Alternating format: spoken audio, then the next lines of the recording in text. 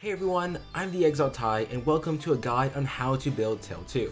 She has some interesting features that make her a great unit to consider using. In this video, I'll be doing a general overview of Tailtiu, covering her stats and personal skills, as well as potential allies and counters. Then I'll showcase some standard builds and unique builds. As always, if you enjoy the video and want to see more, then subscribe and leave a like. I do a lot of Heroes content and there's more to come. Now then, let's get started. Here I go! Tailtiu, the Thunder Noble is a blue tome infantry unit. Just from her stats, you can easily tell what type of unit she is. With solid attack, high speed, and low defenses, it's crystal clear that Tailtiu is an offensive unit. She's going to hit pretty hard and hit pretty fast, just like lightning. Her HP is rather good at 39, not many units in her class have super high HP. Her res at 25 is okay, it does have a super asset to reach 29, which is decent. However, it's not exactly the best IV to go for when she could benefit more from plus attack or plus speed. So let's take a look at her when she's fully maxed out with plus 10 and max Dragon Flowers. Her HP is looking much better at 46. That does make up for her lack of defense at 23. 31 res is not incredible at full max, but hey, at least she can take a magical hit and maybe use Iceberg. Though, with her other stats, Iceberg might not be the best option. While her neutral IV attack stat doesn't break 40, it's still very good, especially with her personal tome, which I will get into later. Speaking of very good, 42 speed is fantastic and really fits someone who embodies lightning and thunder like that. It can be boosted even further, so Tailtiu's doubling potential is very large.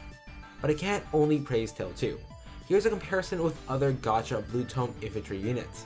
While Tailtiu can match them in terms of speed, she doesn't have the same attack stat like they do. It's also nice that she has similar stats to Ishtar. Going back to attack, both Linde and Delthea have weapon finds that give them plus 5 attack and speed when close to a certain type of ally.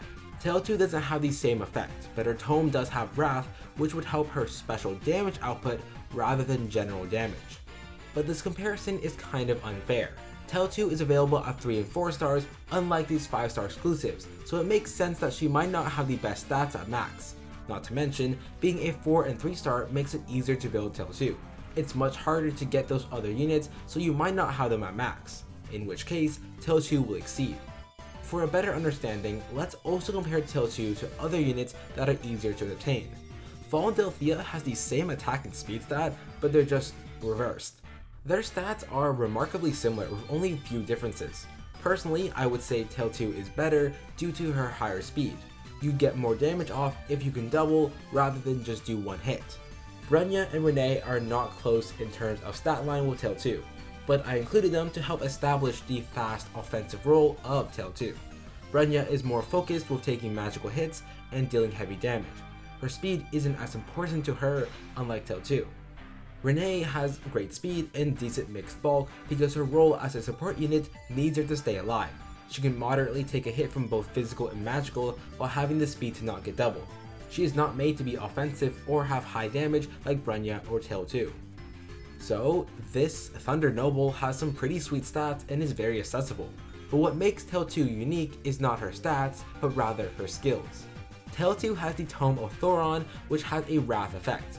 Having Wrath in the weapon slot rather than in the B slot is very useful since you can pair it up with other B skills like Desperation, Vantage, or Lull. In fact, Tailtiu can't even get Wrath as a B skill normally since it's exclusive to melee, infantry, or armor units. So she's rather unique being able to use a skill that other blue tome units can't use.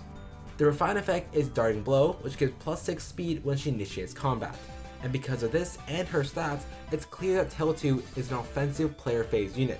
Most of her builds should focus around that idea because that's where she will excel the most. If you do want a different type of build, she can use a different refine for the Tome of Thoron, like the general speed one to mix up her builds. Wrath does work in enemy phase as well because all that matters is the special. You can also go back and not use the Tome of Thoron, but the prerequisite Blárblade. Blade Tomes can get explosively powerful and are rather easy to use. They do come with flaws like panic status, or if the unit lacks a method of getting visible buffs.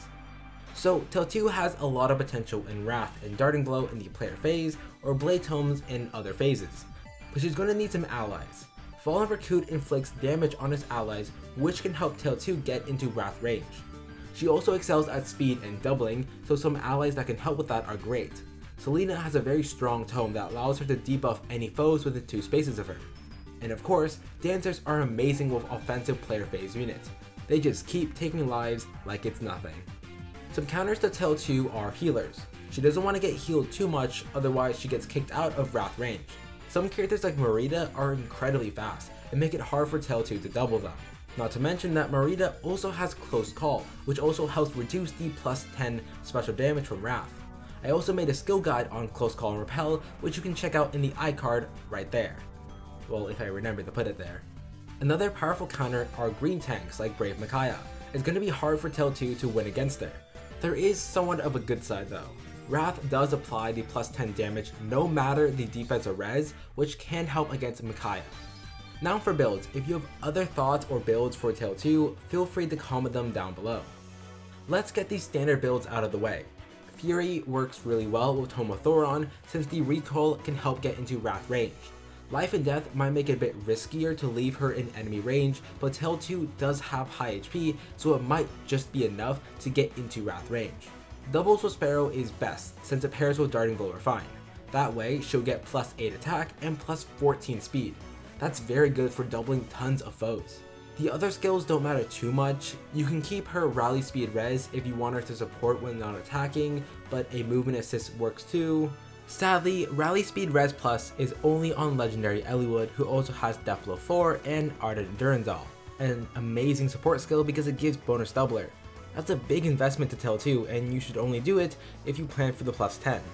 Moonbow is an all around good special and it helps against high res units. You can swap it for Glimmer or something if you think her attack power is good enough. Whatever it is, as long as it's in an attacking special, Tome of Thoron will boost it. Standard Blade Tome sets are pretty much the same as the last three sets.